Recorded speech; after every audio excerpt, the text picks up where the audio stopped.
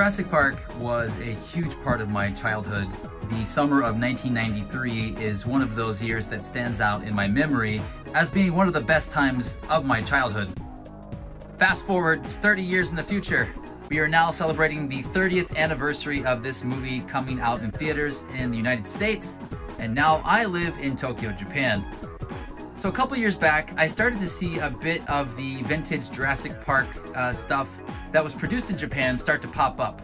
And um, although I had a lot of the stuff that was released in the US, I thought it would be fun to, you know, try and collect as much as I could of the Japan only stuff, or the stuff that was released in Japan with slightly different packaging, stuff like that. So I thought it would be fun to kind of just go through and show you guys some of the stuff that I've accumulated uh, over the past couple of years.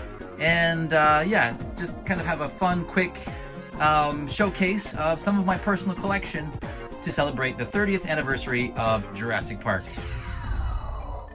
So let's start here with a traditional Kenner Jurassic Park 1993 American release of the Dilophosaurus. So you can see here on the front, uh, you've got the awesome sunset background with the, uh, the foliage and shadow. I love this packaging. One thing that I kind of misremember is that these actually don't have the Kenner logo in the bottom left or right corner. There's no Kenner logo on the front of the packaging. But if you flip it around, that's where you'll get the Kenner logo and the proof of purchase and all that stuff, and then all of the uh, characters and other dinosaurs and whatnot. Yeah, so this is a standard American release card. And here we have a Japanese release of the Velociraptor. Unfortunately, I cannot find a Dilophosaurus as of yet, but you know, I'm working on that. But here we have a Velociraptor, and you can see most of the card is the same, except at the top where you would see the dinosaur's name, you can actually see uh, katakana. This part's in English, the card's all the same, but look at the bottom. We have the logo for Nomura Toys, which is weird because their logo is a TN, so it should be like Toy Nomura. Anywho, Nomura Toys is actually more known for their vintage tin toy robots and vehicles. Um, and typically, these kinds of releases from Kenner and uh, other toy companies, you generally see those kinds of things imported by the big Japanese toy company Takara. So yeah, this is like the first instance that I've noticed where you see uh, Nomura Toy is responsible for the Japanese release. And on the back of the card here, you can see it's pretty similar to the Dilophosaurus card, except at the top where you have the instructions, they're written in Japanese, and all of your characters' names are also written in Japanese along with the dinosaurs. And then the bottom where you would have had the Kenner copyright, you've got the Kenner copyright, a division of Tonka, and the Nomura toy logo. But yeah, there's the Velociraptor. Actually love the Velociraptor toy. It's one of my favorites, the very first one. Uh, so I have a bunch of variants. These are a couple variants that I have. I recently got this uh, Chaos version, which I love the colors on this one. But yeah, these were not released in Japan as far as I know. Up next, we have the Pteranodon. This is not one of my favorites, but it is very nostalgic to me. So yeah, gotta have this one. And just like the Raptor, you've got Pteranodon written in katakana. You got the Nomura Toy logo at the bottom. And the card back is the same as the Velociraptor, except for the description of the uh, Pteranodon is in Japanese, of course. And look, we've got a price tag too. It looks like this might have been Toys R Us. Yeah, Toys R Us price tag with uh, yen. Unfortunately, someone's ripped it off, so I don't know the original retail price. But um, yeah, Toys R Us actually still exists here, although they're kind of lackluster these days. Okay, up next we get our human crew, starting with my personal favorite, Alan Grant. Same thing with his card, name written in katakana. The rest of the card is virtually identical. Same goes with the figure and the Nomura Toy logo in the corner there. And on the back, we get the same kind of card back that we get with the standard Kenner release, just with Japanese text and the other information at the bottom and no Kenner logo. Same goes with all the other characters. Ellie Sattler,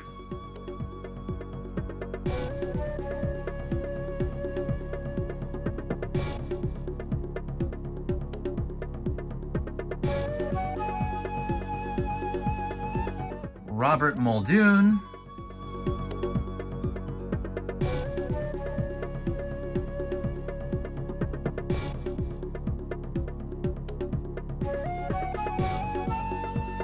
Tim Murphy, or Timu Mafi.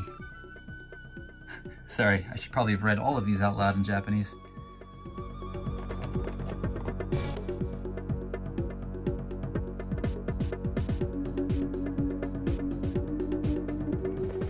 And last but not least, one of my second personal favorites, Dennis Nedry. Denis Nedori. Complete with his dino damage arm, which is already falling out of the socket.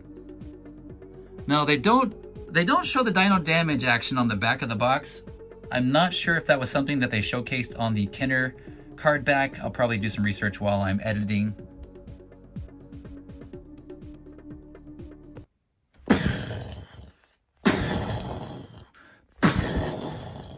And let's not forget one of my favorite all-time toys, the young Tyrannosaurus Rex with removable dino damage. So yeah, I don't own the Big Rex. It is a little out of my price range, but I actually prefer the young Tyrannosaurus Rex over the adult. I played with this so much. And it doesn't help that I loaned the Big Rex to my cousin Michael, who then proceeded to cut its head off with scissors, so yeah, got some trauma attached with that one. If anyone wants to send me a replacement, you know, this happened almost 30 years ago, but if anyone wants to send me a replacement, you know, drop me a DM on Instagram at Tokyo Toy Bastard. So yeah, let's see. So the package here is essentially the same. It's got all the English text. Uh, same thing over here. Realistic dinosaur skin, limited edition collector's movie card, and we also have the Japanese text down here. And it says, Young Tyrannosaurus Rex. And over here, we've got the Nomura Toy logo and the official JP mark. On the side of the box, cool picture and the text again. Same thing on this side. And on the bottom of the box, And here's the back of the box.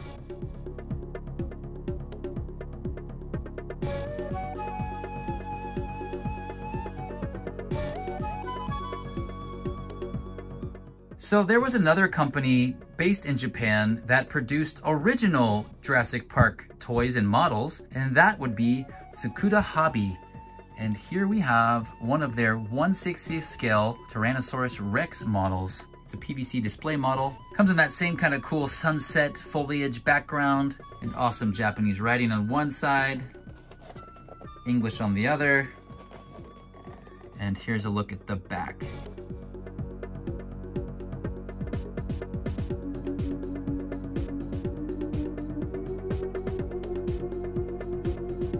Not suitable for children under 36 months.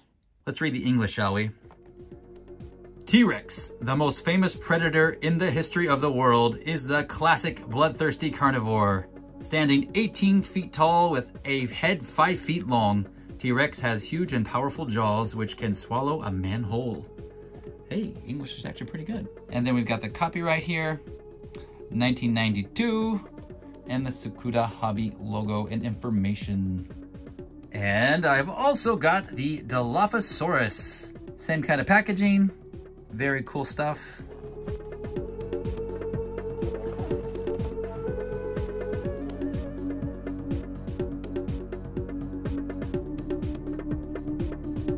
Nicknamed the Spitter, this four-foot kangaroo-like animal seems playful and friendly. They are spotted like an owl, but be careful. When they begin to hoot, that means they're aroused. Oh my.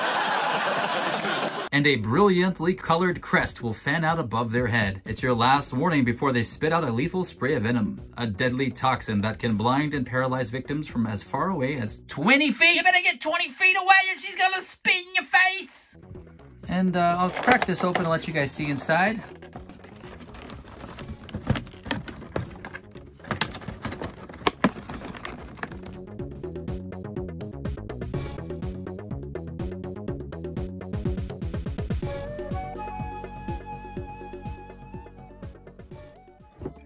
Hobby also released these 130th scale super detailed PVC model kits, which are basically just unpainted Sofubi. But let's take a look at the box first. So on the front here, we've got the awesome art, a picture of the painted figure once it's assembled, On the bottom, you can see a list of all the other figures they have here.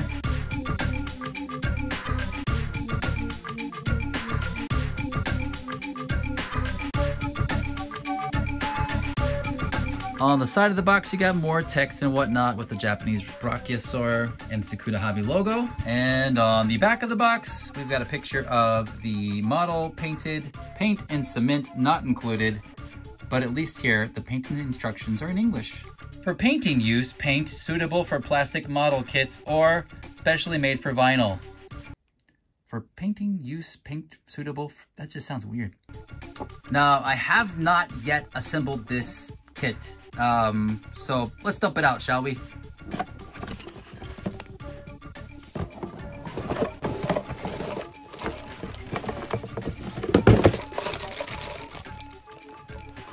Okay, so it's still sealed up in the plastic and yeah, it's basically just hollow vinyl. Have you ever dealt with vinyl kits or unassembled vinyl toys? This is what they look like. You've got like the flashing on the ends that need to be trimmed and then you warm them up and stick them together and all that jazz. And this is really cool because it's basically just a Sofubi Brachiosaur.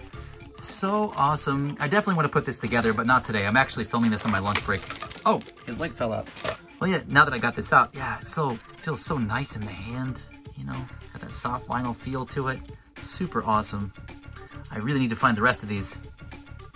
And actually, here are the instructions. It's got the instructions in English, which parts you need to cut off and all that jazz. So that's cool that they put that in English. Let me know below if you actually assembled one of these. Back in the box you go.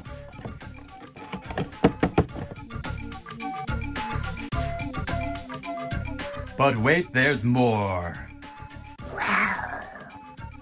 Can you read what that says? The word would be, Oh, I don't want to say it. why not? I don't like to say it. Have you ever said it? No, sir. Try it. I don't like to say it. Try it. Really? Seriously? We're not gonna have this conversation unless you say it. It says Jurassic Park. Can will you say it? No, no. That's not the same thing. Dun dun dun dun. And here we have the Tsukuda Hobby PVC model, fully painted Velociraptor Raptor. Got the cool little gold Jurassic Park sticker there, the little seal. And uh, there's actually a little window that you can pop out. I've obviously not popped that out on purpose. On the side here, it says Bulokilapta Lapta, one-tenth scale. And uh, on this side, you've got it in English and a nice vibrant pink. And then here we have the back. And then we have the back of the box, which unfortunately has been ripped a little bit, but that's fine. So Jurassic Park Velociraptor, we got a size comparison of the raptor next to a human, which is more like a Deinonychus, not like a raptor. The raptor is pound for pound the most vicious dinosaur that ever lived, as intelligent as chimpanzees. They hunt in packs and often kill just for the sport of it. They run at speeds of up to 60 miles per hour, and with a 6-inch retractable razor-sharp claw at the end of each limb, can kill a man in one swipe. Down here we've got the copyright information, the Tsukuda Hobby logo, printed in Japan. And then we have the lineup of the painted PVC models. We've got Tyrannosaurus Rex, Triceratops, Brachiosaurus, Velociraptor, Dilophosaurus, Gallimimus, the same lineup we get for all of these releases. However, they're all different sizes and all different sculpts, I think.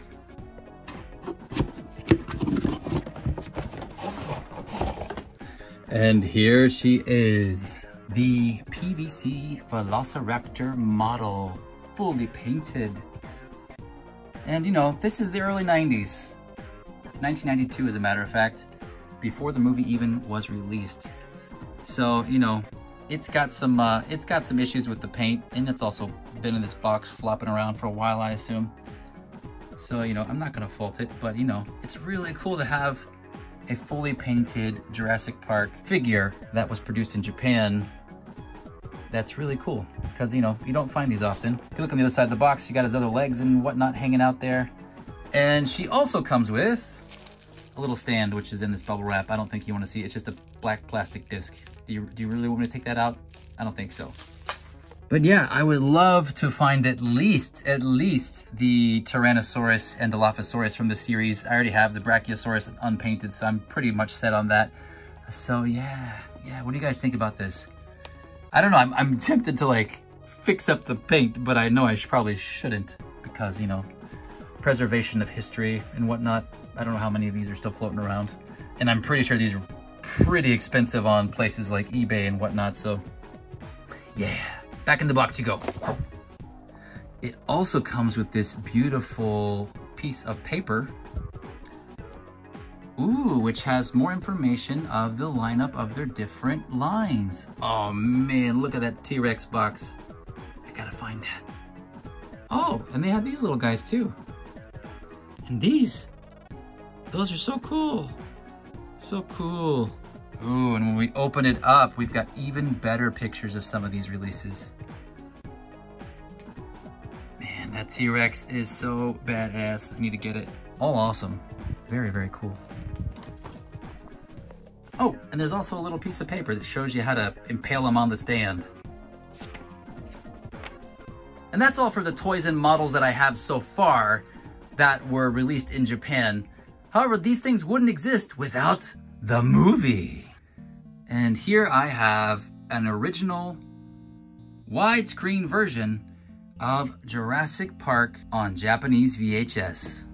It's essentially the same as the VHS cover that we got in the States. I know because I had it and I, I was one of the first people at the video store to buy that damn thing when it came out. However, this one is in an awesome clamshell case, which is the case for most of your Japanese VHS releases. And upon opening the case, we get the label, which says Jurassic Park in katakana, and the same goes for the spine. I know VHS collecting is like a big thing now, and, prices on some VHSs can go kind of crazy, especially if they're sealed. Unfortunately, this one's not sealed, but it was awesome to find this at like a junk shop for like, I probably paid like a buck for it, 100 yen. But what if I told you I also had a sealed copy? Yes. Now, this is a re-release uh, that probably came out a few years later, but it's still got the plastic shrink wrap, the little promotional stickers here. You can see that it was 2,580 yen, which was a good deal for a VHS tape at that time. And yeah, spine. And the back's a bit different. And here are the two spines compared side by side. They are both subtitled versions, so, you know. But I would kind of like to have the old dub. That would be kind of fun to watch this in Japanese. できるかどうかってことに心を奪われてすべきかどうかは考えなかったコンドルならどうだコンドルは今絶滅の危機に瀕しておるもしわしがこの島で作っておるのが恐竜でなくコンドルだったと I do have the Japanese Blu-ray. That's not as interesting as these old VHS tapes. But you know what's more interesting than old VHS tapes?